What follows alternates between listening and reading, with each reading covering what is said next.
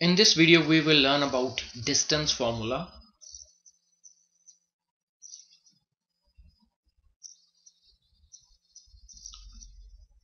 which is used to calculate distance between any two given points. Let's suppose that we are given two points x1 y1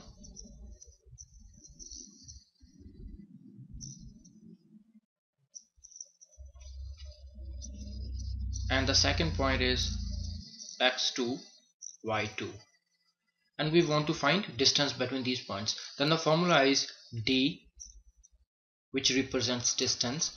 D is equal to square root of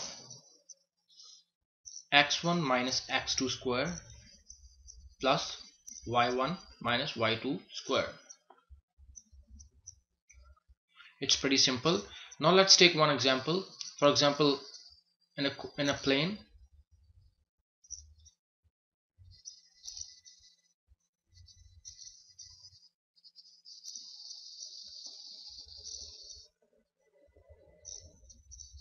one point is given to us. Let's suppose that 1 1 is here.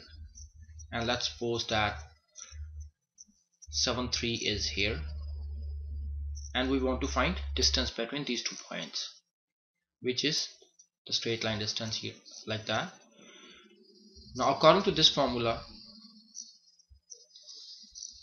we can easily calculate the distance between these two points 1 1 and 7 3 so we just need to apply the formula given here. So the value of d would be square root of 1 minus 7 square plus 1 minus 3 square. So it's equal to square root of minus 6 square plus minus 2 square.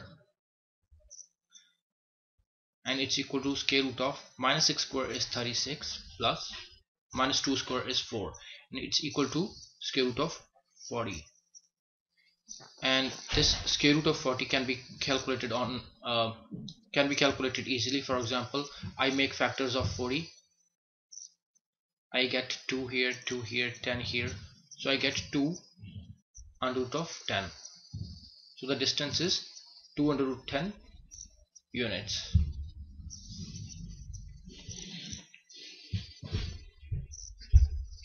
So that's about distance formula and see you guys in the next video. Thank you